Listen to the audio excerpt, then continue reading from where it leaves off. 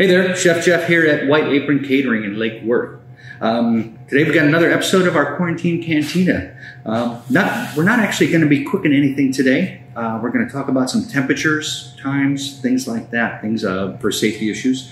Um, let's roll right into it. We've got some couple different thermometers. We're going to get them, show you how to get them calibrated. We're going to talk about where to cook everything to keep you all safe. Um, we're here in Florida, so we're working off the uh, Florida Department of Agriculture and Consumer Services, Department of uh, Business Professional Regulation, our health department, basically. And we're going to go with those guidelines. We'll touch on some of the differences with the FDA and USDA stuff after that, but we're just going to roll right through with that. Um, we've got some thermometers. Check your thermometers. That's really sort of important to start with. Um, best way to check it, easiest, is get yourself a little little glass of some ice water. You know where that's supposed to be. It's supposed to be right at 32. Uh, digital thermometers, they should calibrate themselves. So we're just going to click that on, room temp. To pop it down in there. You know, so you got a couple different digital ones, all different types and whatnot. Um, here's one of the old school ones. I like these as well beautiful part about these is you can calibrate them. They got a little nut on the bottom where you can grab hold and I'll show you where we're at. So we'll get those going.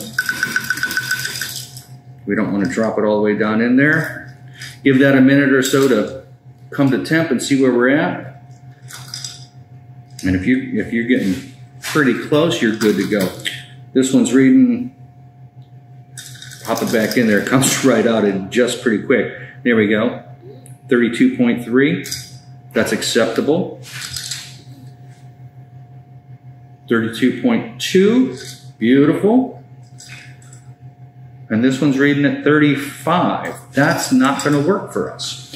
So, like I said, these are really easy to adjust, and all we're going to do is going to take that, grab hold, adjust it, pop it back down in there.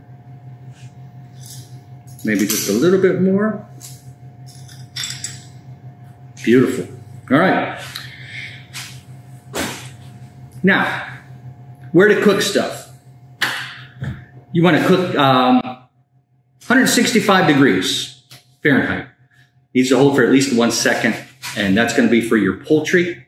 Any kind of stuffings, dealing with uh, meats, fish, or poultry as well. Any stuffed foods, wild games, any reheated foods, and any foods that you microwave, either reheated or from raw. 165 degrees. 155 degrees Fahrenheit, you're going to need that's going to need to hold for at least 17 seconds, and that's going to be for your ground and injected and tenderized meats. Stuff like sausages, hamburgers, and whatnot. Um, say if you got some egg dishes that you want to prepare ahead of time, quiches, frittatas, things like that. Those are also going to be 155. Um, getting a little crazy. How about some ostrich or emu or any of those types of meats? Again, 155. The next group down, 145, and these are going to be for your whole muscle groups. Uh, beef, pork, lamb, veal, fish, goat, any of the seafoods. Um, also eggs for your immediate use. You're doing your poached eggs, you're doing scrambled eggs, whatnot. There you go. That's the guideline for that. This doesn't happen a lot, but for in restaurants and whatnot, you'll need this. 135 degrees is the lower threshold for your uh, fruits, vegetables, grains for your holding, for hot holding. So 135 or above. Um, also, if you're doing commercially packaged reheating of foods, any, any reheating of foods that are commercially packaged and you want to hold them, your frozen lasagnas or whatever you've got there, hold those at 135 and above. Now that temperature between 135 and 41, we like to call the danger zone you want to get foods in and out of that as quickly as possible. So that's not where you want anything. While your cold foods holding at one at uh, 41 degrees or below. Now the only exception to this is going to be some of your roasts, your pork and your beef roast, and there's a sliding scale for that. So like say you could hold a prime rib at 130 degrees, but it's going to need to be hold, you know, at least for 112 minutes. As you go up, the, the time drops considerably. So like say 130, 130 degrees, you're going to want 112, 12 minutes, 135, 36 minutes, 140, 12 minutes, and then you're back up to your 145 and it only needs your 15 seconds.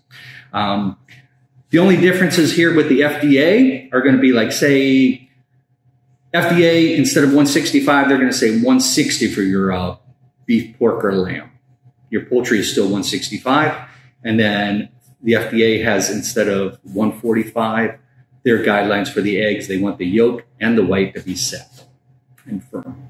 Anyway, Chef Jeff here at White Apron Catering. Here's some times and temperatures. Hope that helps. Let me know if there's anything you want to see or anything we want to do. And again, thanks for watching. Stay safe and happy. And uh, thank you.